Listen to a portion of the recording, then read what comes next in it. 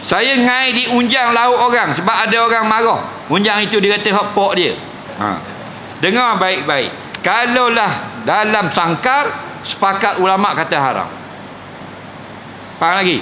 Orang beli ikan lah sakar di sungai digingai lah sungai lah sakar. Haram orang.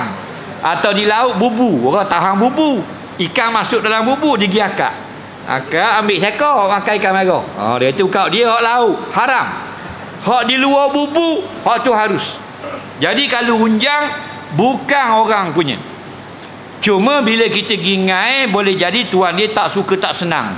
Orang kita pun tak senang. Kita pergi cari pasir berbola lagu ni pergi cari pokok pergi cari daun pergi cari buluh. Bawa dengan kapal pula bagi tengah laut buang pula buah tali lagi lelah ikan mari ramai-ramai sedap-sedap mari ngai situ. Ha? ha? jadi kalau ada larangan janganlah tapi kalau balik kepada uruh biasanya kalau kita muka baru orang marah. Kalau ngai orang tak marah mana? Faham? Ha ikan-ikan hak biar-biar saja. Ni pergi faham puka terus. Akak unjang lekong puka jadi ambil hak orang. Joling. Orang awak ke kita kita marah. Tak? Ha